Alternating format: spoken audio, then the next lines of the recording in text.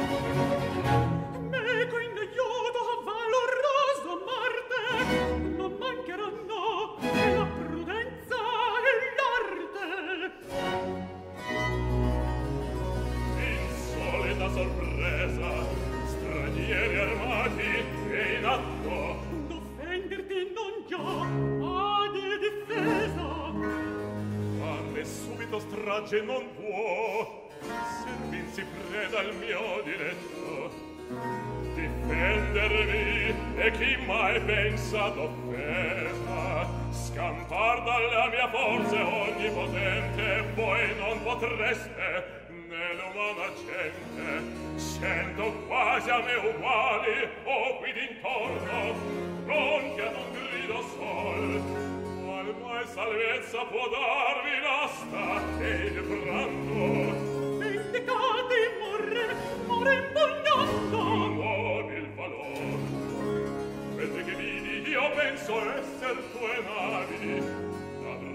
recetto avrei doni da me per poi vantarti e del gran polifemo amico parti. Alloggio offerta ma s'accetti e il solo men da temersi fia. Dunque li possente nome della tre materia finché nate o compagni. Altri offerte d'ondor non sdegnerai tributo nostro il bando avrai. Mirate mirate da non far venirmi tutti del contorno i ciclopi a farmi conte. Seguimi seguimi e scampo avrete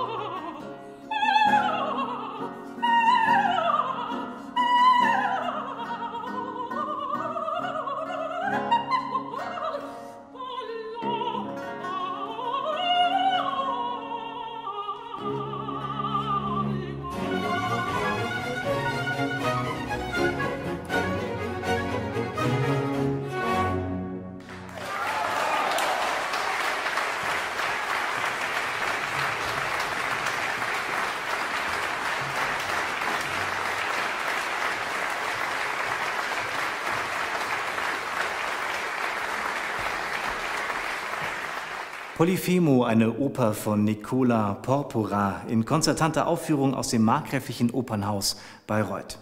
Eine Aufnahme vom 9. September im Rahmen des Bayreuth Baroque Opera Festivals, das dieses Jahr zum zweiten Mal über die Bühne geht. Die Ausführenden Julia Lezhneva als Galatea, Max Emanuel Zensic als Odysseus, Pavel Kodinov als Polyphem, Juri Minenko als Arzis, Sonja Runje als Kalypso und Rinat Moria als Nerea. George Petru leitet den Chor des Bayreuth Baroque Opera Festivals und das Barockorchester Ammonia Athenea. Bevor es mit dem zweiten Akt gleich weitergeht, ein paar Worte zur Handlung.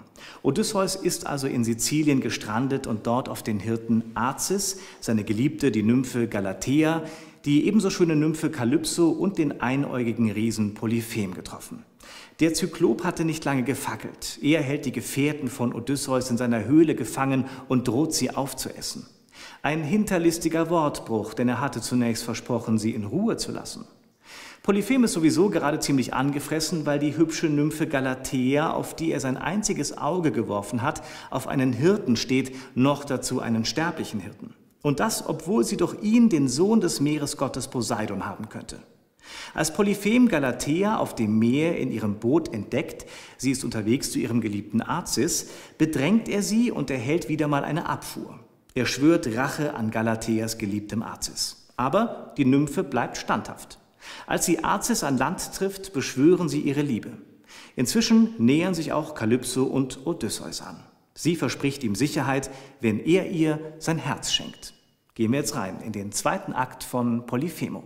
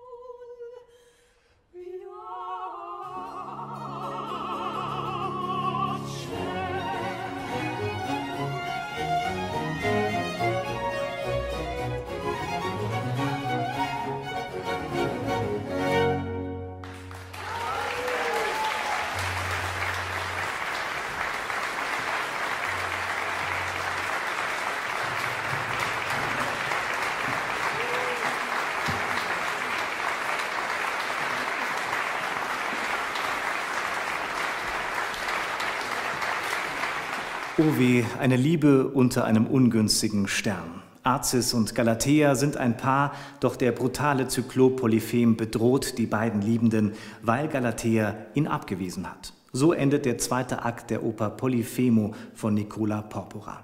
Eine konzertante Aufführung im markgräflichen Opernhaus Bayreuth mit Julia Lezhneva als Galatea, Max Emanuel Zenzic als Odysseus, Pavel Kudinov als Polyphem, Juri Minenko als Arzis, Sonja Runje als Kalypso und Rinat Moria als Nerea.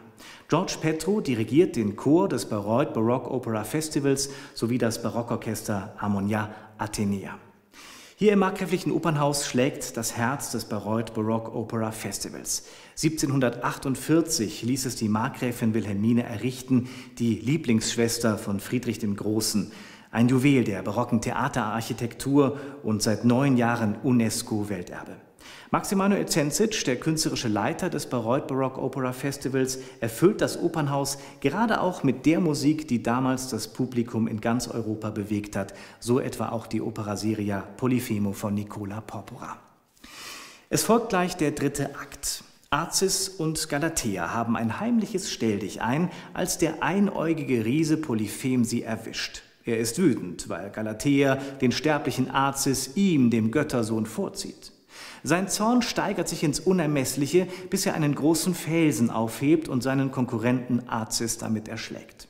Doch Odysseus hat ja auch noch eine Rechnung offen mit diesem Riesen, der seine Kameraden gefangen hält und droht sie aufzuessen.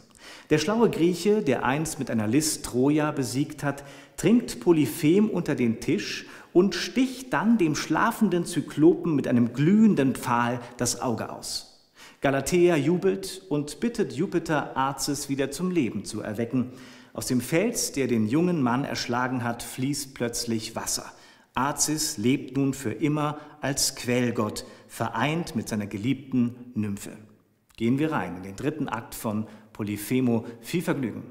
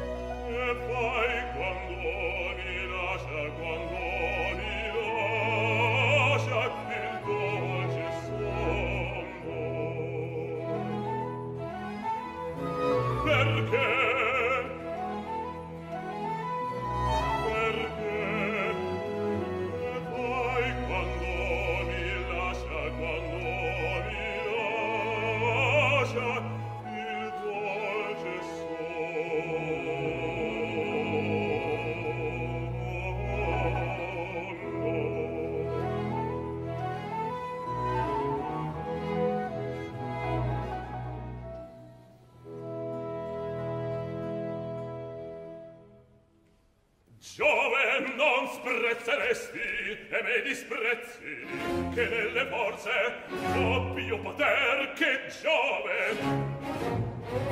Ah, perché volo io l'aria de pesci da poterti seguirme dentro all'ombra? Vien da me dunque e lascia lascia il mar cerulio privo di te l'auto sferzar la sponda che veggio spietata ecco perché mi fuggi. Ad in seno vagheggiata il vagheggi. Ah questo sia l'ultimo il vostro amor lieto momento la che acerba vendetta il mio tormento del mestre basso idilupato mani sul mio rival.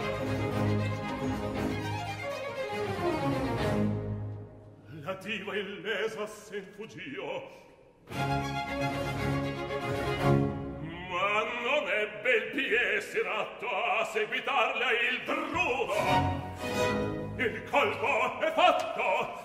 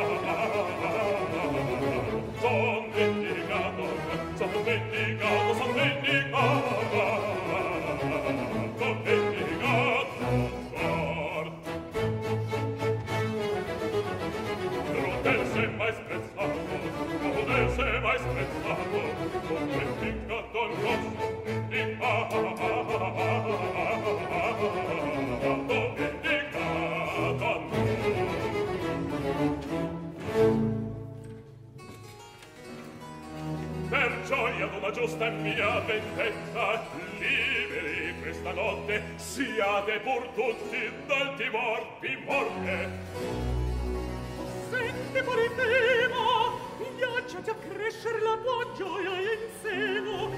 Con quest'almo il cuor di smarria vite chi a te in dono portavi Etna selvoso ave non manca generoso vino, ma il tuo si gusti ancor.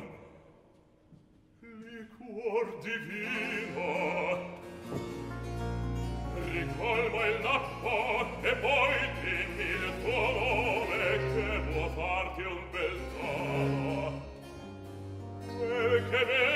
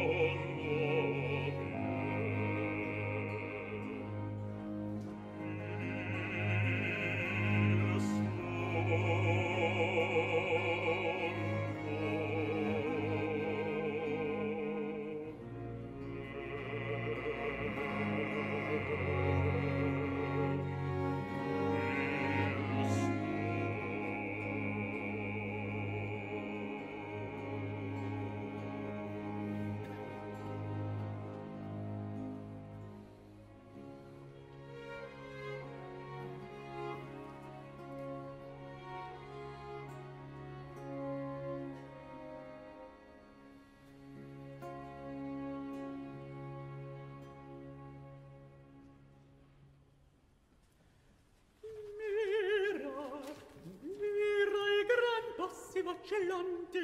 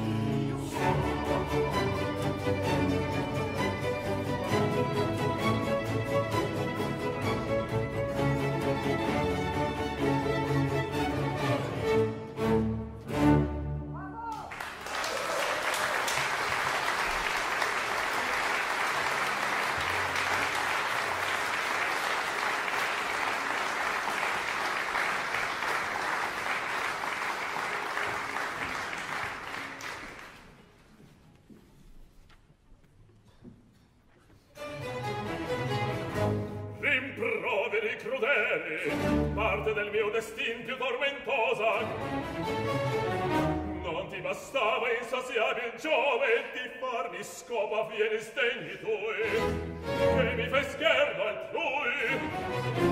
E tu, gran nome, scuotitor del mondo, mio genitor nettuno, al cuore avesti del tuo nobil figlio, prendi almeno al mio ciglio la sua perduta luce, l'offesa è tua, sia la vendetta ancora adesso abbandonato la rabbia mi dimora e un furor disperato mi tormenta. Furie, furie son vostra pena. Ma per voi sia la vita ancora come la mia luce spenta.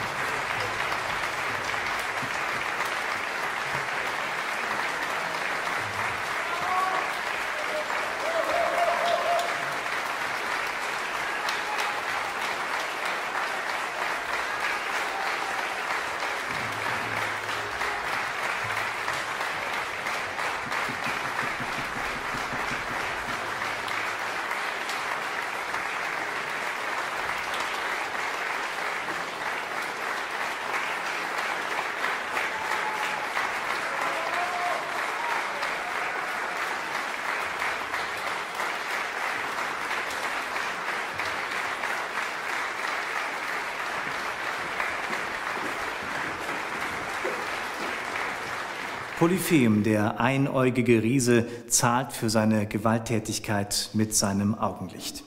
Odysseus rettet seine Mannschaft vor dem Zyklopen und befreit Galatea von seiner Zudringlichkeit. Und das Liebespaar Arzis und Galatea, getrennt durch den Tod, sind wieder vereint als Quellgott und Nymphe. Das war eine konzertante Aufführung der Oper Polyphemo von Nicola Porpora, aufgenommen am 9. September im Markgräflichen Opernhaus Bayreuth im Rahmen des Bayreuth Baroque Opera Festivals 2021. Mit Julia Lezhneva als Galatea, Max Emanuel Zensic als Odysseus, Pavel Kudinov als Polyphem, Juri Minenko als Arzis, Sonja Runje als Kalypso und Rinat Muria als Neria. George Petru leitete den Chor des Bayreuth Baroque Opera Festivals sowie das Barockorchester Ammonia Athenea. Ein kleiner Hinweis noch, eine weitere Übertragung vom Bayreuth Baroque Opera Festival können Sie am 26. September hier in ARD Alpha sehen. Dann spielt das polnische Barockorchester, das Orchestra Historyczna, Werke von und für Kurfürsten und Markgräfinnen. Soweit für den Moment. Ich hoffe, Sie hatten ein wunderbares, konzertantes Opernerlebnis. Ich darf mich von Ihnen verabschieden. Ciao, tschüss aus Bayreuth.